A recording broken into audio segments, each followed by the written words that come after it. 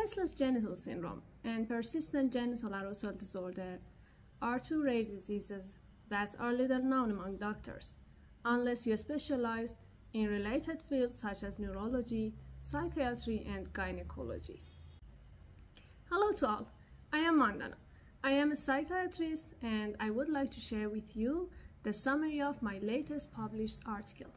In this article, we try to show how it is possible to misdiagnose persistent genital arousal disorder instead of restless genital syndrome and state factors to differentiate them.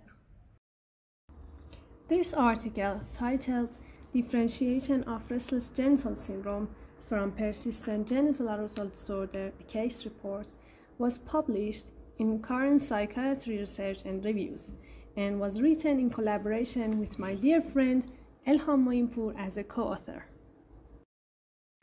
In this article, we present a case that presented for the first time with constant discomfort in the genital area.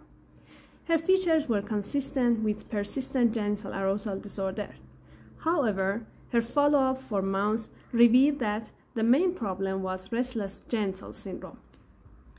In this picture, you can see the course of the symptoms and the factors affecting it. Why is it important? to differentiate these two conditions. Persistent genital arousal disorder is an under-recognized disorder with many uncertainties regarding its diagnosis and treatment. However, the management of restless genital syndrome is similar to restless leg syndrome. We have treatment guidelines for RLS that can be applied to restless genital syndrome.